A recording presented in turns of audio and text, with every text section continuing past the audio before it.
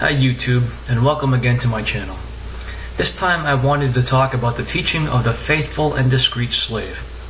This teaching is literally central to Jehovah's Witnesses.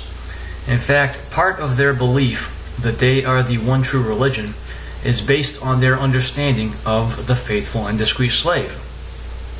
They believe that the faithful and discreet slave is directed by Jehovah to provide food to his sheep at the proper time. And based on that, they believe that they have to stick very close to that faithful and discreet slave once they have been identified. And since the faithful and discreet slave is now the governing body after a recent change, that means that they have to stick close to the governing body. So, the question is what really establishes the faithful and discreet slave? Well, scripturally speaking, it's based on Matthew 24, verses 45 through 47, in which Jesus, uh, in a parable, talked about a faithful and discreet slave who would provide food for the domestics at the proper time. So, how then does the faithful and discreet slave establish that they were the individuals that were chosen by Jesus? Well, they state that based upon the restoration of Bible truths and the organization that was to become Jehovah's Witnesses being the only organization revealing those truths and having those truths revealed to them, and based on their teachings, that they were in fact a faithful and discreet slave. They claim to have recognized signs in the Bible that pointed to fulfillment of Bible prophecy that other individuals did not recognize and that became the central theme of their preaching. So, based upon that, they consider themselves to be the faithful and discreet slave. So, that provides a very testable hypothesis. The reason for this is because uh, the Bible students that would later become Jehovah's Witnesses published a lot of literature that described what their teachings were. And Jehovah's Witnesses, in the tradition of the Bible students, continue to do the same thing.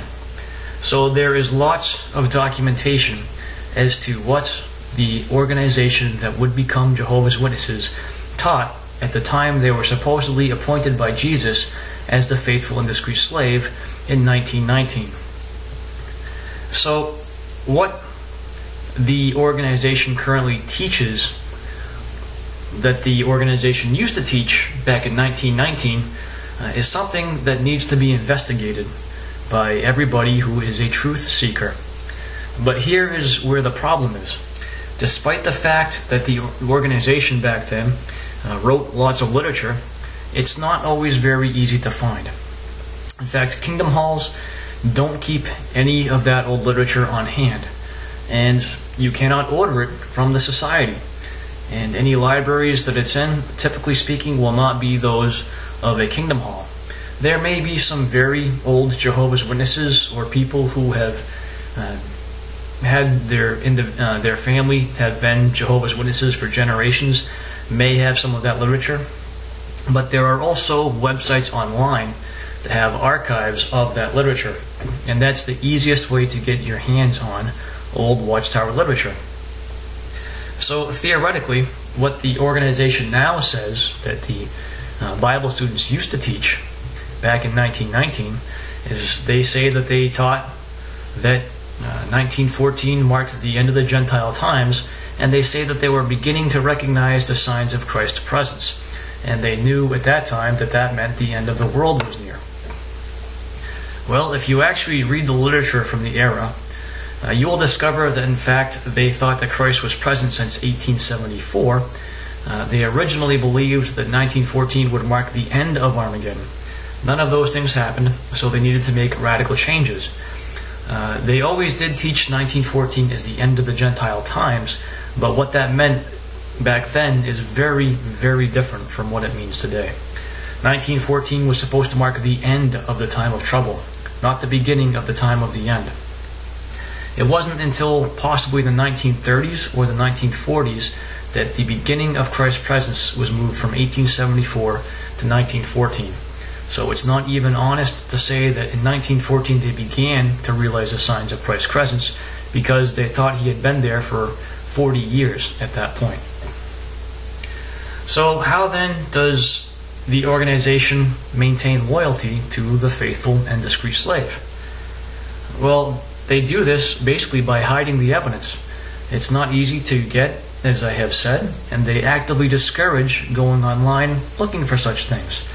They print a very rosy picture of what was taught in the past, selecting bits and pieces from the literature to present the picture that they want. They're very good at picking quotations such that it tells you the story they are trying to tell. And the higher up the organization you get, the more intense the indoctrination becomes. For example, I was looking through the uh, latest Pioneer book not too long ago, and faith in God is equated as being almost the same as faith in the organization. It is stressed to pioneers that they should stay close both to Jehovah and to the organization, as if they were one and the same. As um, and they base that on the fact that they consider the organization to be the only channel that Jehovah is using. And the pioneers are instructed to keep pace with the changes. There's instruction there about how they know that it can be difficult at times to accept changes in doctrine, but that the pioneers have to rely on the faithful and discreet slave. And when I was an elder, we had the same exact training. We had the same exact information. Uh, the organization wants to take those people that are its best servants and make sure that they stay close to the organization. And essentially, in action, if not specifically in word, the organization basically takes on the aspects of God. Uh, in that, the organization teaches you that if you are to question the organization, you are, in effect, questioning God. You are taught that only spiritually mature people will continue to adjust their viewpoints as the organization moves. You are taught that the organization is progressive and you have to keep up with it, and you have to keep studying and you have to keep uh, in step with where the organization is going. If you don't understand, you are told to wait on Jehovah.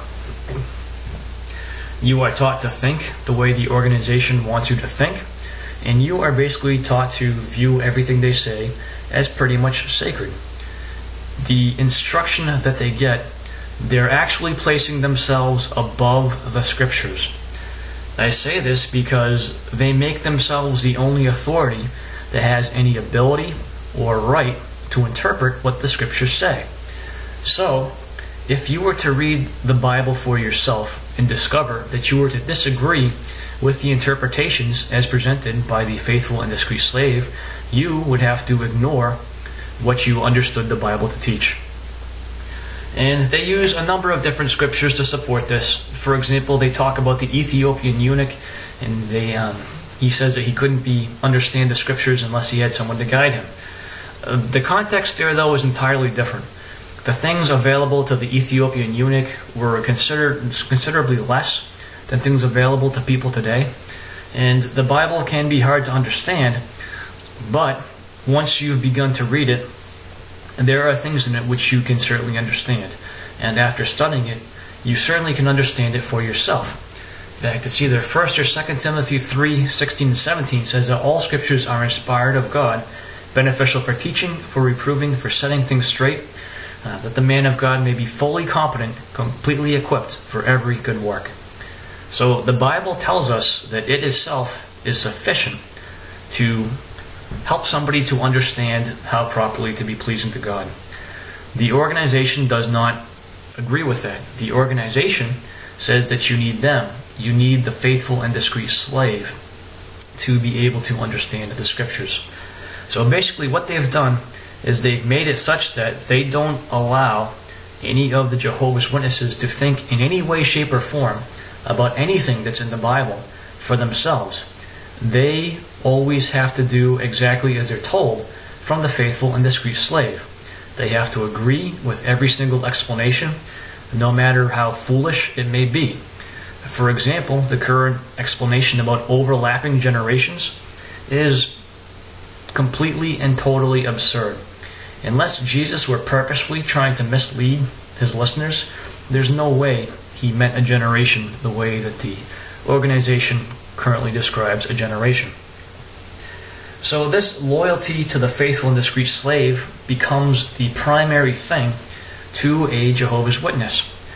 However, with their ever changing light, they have to enforce that loyalty because any other thinking person would realize the Bible hasn't changed in 2,000 years. Why would someone have to keep changing their interpretation of it?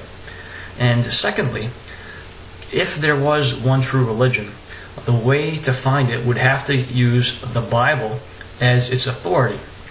Otherwise, any religion could claim to be the true religion, they could claim to be directed by God, and they could claim to be the sole authority that has the right to interpret the Bible. And you would have no way of knowing who was who, unless somebody was performing miracles equivalent to Jesus, which nobody does these days. So, for what we have and what we know, if you are to assume there is a true religion, the authority for determining what that religion is has to be the Bible. But the faithful and discreet slave basically does not allow witnesses to use that litmus test, and they actively hide the truth as to what their predecessors taught. And other interesting things about the faithful and discreet slave. Uh, it used to be considered that the entire class of the anointed was the faithful and discreet slave. But this was never, in fact, the case. Going back in Watchtower history, uh, at times it was claimed that Russell was the faithful and discreet slave. Um, then the functions of that office passed on to Rutherford. Later on, they passed to the next president, Nathan Knorr, though the main arbiter of doctrine at that time was Fred Franz. And in the mid 70s, when the governing body, as we know it today, came into existence, they accepted that mantle of authority. So there has been considerable change in who the supposed faithful and discreet slave really and truly was. And if you look at the history of things that they've predicted, they have never been right about what they've predicted. The end has been any time now since 1914, and it still hasn't come.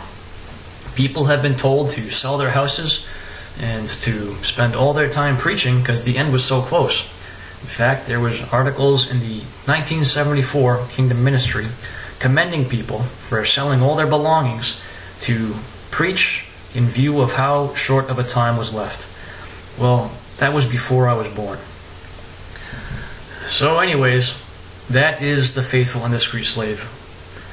Uh, if you would like to study it yourself, I highly recommend you do, because the information and the history of the literature is not exactly what is presented in the current literature.